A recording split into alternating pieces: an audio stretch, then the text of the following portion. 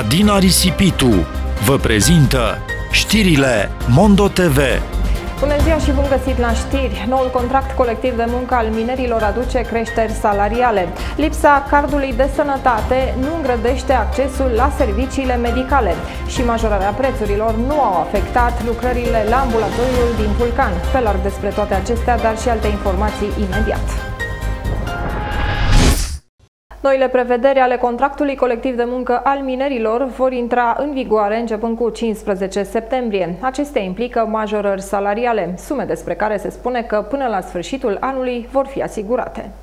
Președintele Sindicatului Muntele a discutat cu ministrul energiei Virgil Popescu despre toate obligațiile financiare și nu numai care vin odată cu prevederile noului contract colectiv de muncă. Am avut discuție cu domnul ministru pentru că, după cum știți, noi am încheiat contractul colectiv de muncă, iar din data de 15 septembrie vor intra în vigoare noile prevederi ale CCM-ului, care implică creșteri uh, salariale pe mai multe paliere. Uh, dânsul mi-a răspuns că până la sfârșitul anului uh, are asigurate aceste sume mai mult, dacă va fi constituit un nou complex energetic, va fi necesară și întocmirea unui buget pentru această nouă companie. Dacă vom, uh, ne vom, uh, vom constitui noua societate, va trebui să, să trecem uh, pe noua formulă de organizare cu Consiliul de Administrație și Director General, iar noua companie va trebui să aibă și un buget care va trebui întocmit în momentul în care ne constituim. Lucrările la ambulatoriul din municipiul Vulcan sunt în grafic. Actualizările prețurilor din ultima perioadă au dublat munca birocratică, însă nu au afectat lucrările de modernizare. La ambulatoriu lucrările se desfășoară conform graficului. Uh, undeva un sfert deja au fost, au fost executate. Este o lucrare mare, o lucrare care necesită multă aparatură, achiziția de, mult, de aparatură medicală Uh, la fel și acolo uh, sunt probleme vis-a-vis -vis de actualizările de prețuri, uh, de, se fac foarte multe hârtii, foarte multe forme pentru tot ceea ce înseamnă modificările de prețuri, modificări de tarife. Cu toate acestea, lucrările au continuat. Modernizarea ambulatorului va duce la îmbunătățirea serviciului de sănătate și la creșterea capacității de primire a pacienților cu 30% mai mult decât în prezent.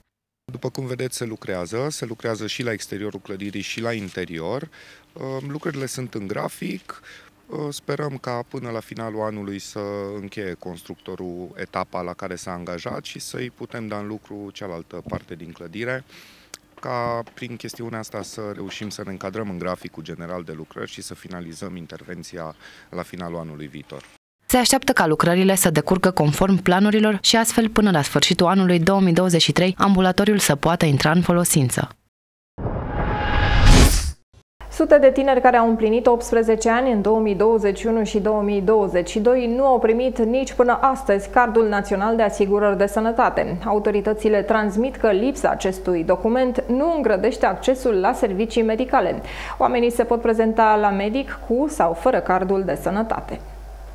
Vreau să spun de la bun început că acest document, uh, Cardul Național de, uh, de, de Sănătate, este doar un instrument pe care îl avem la dispoziție pentru înregistrarea și decontarea serviciilor medicale de care beneficiază uh, asigurații, oamenii.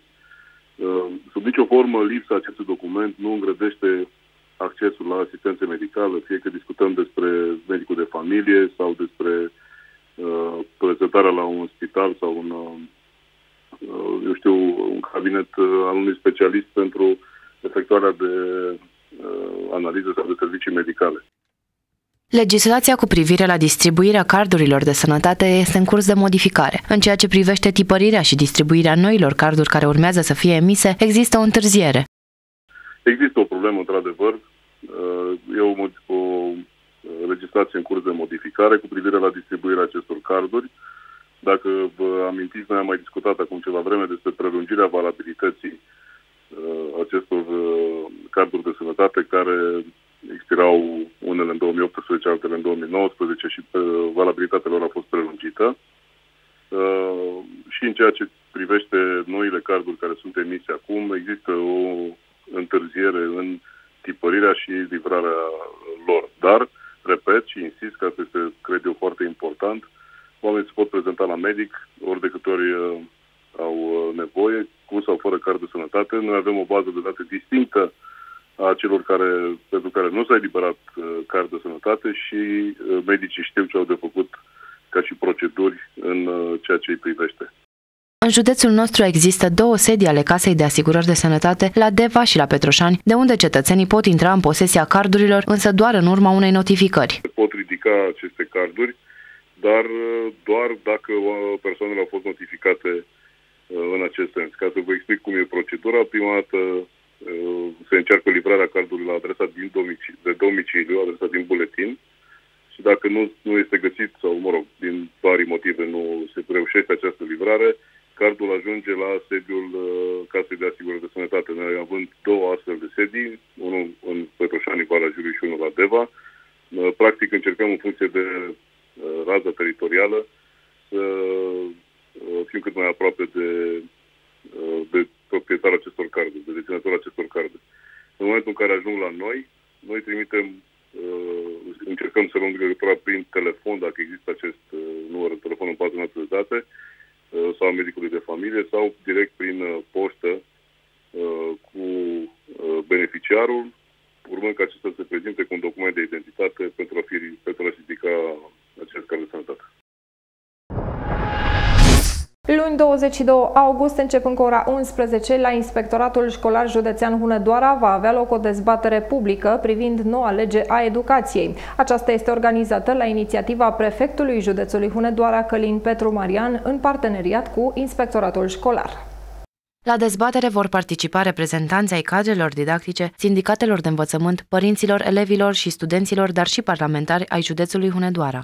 Inițiem în parteneriat uh, cu Inspectoratul Școlar Județean Hunedoara o dezbatere publică referitor la modificările care se propun în ceea ce privește legea educației, atât pe partea de învățământ uh, preuniversitar și și pe partea de învățământ uh, universitar. Scopul dezbaterii este acela de a fi identificate soluțiile și mecanismele de implementare regăsite în cele două legi.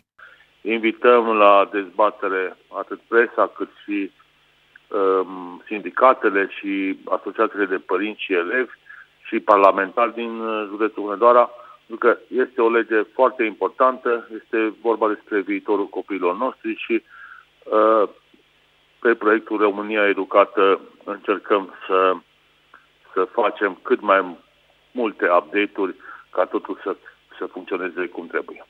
Cetățenii vor putea trimite propuneri sau opinii privind cele două legi pentru învățământul preuniversitar și învățământul superior până la data de 22 august, ora 10, pe adresa de e-mail prefhd.arondprefecturahunedoara.ro Doamnelor și domnilor, acestea au fost știrile Mondo TV. Rămâneți în continuare cu informațiile despre vreme. Să aveți o seară cât mai bună!